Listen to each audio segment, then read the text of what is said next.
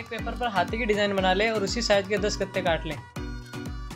अब ऐसे ही पाँच गत्तों को ऊपर से प्लेन काट लें। अब ग्लू लगाकर हाथी की पाँच शेपों को एक के ऊपर एक जोड़ दें। फिर बीच में ऊपर से प्लेन कटी पाँच शेपों को चिपका दें।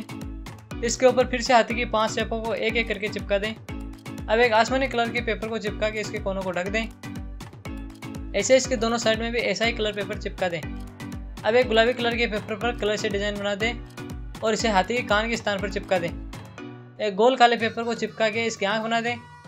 अब एक पतली रबर शीट को गोल करके इसे चिपका दें और इसे हाथी की सूंड के नीचे लगा दें। लीजिए तैयार है खूबसूरत सा एलिफेंट मोबाइल स्टैंड। इस पर आप अपने मोबाइल को रखकर मूवी देख सकते हो।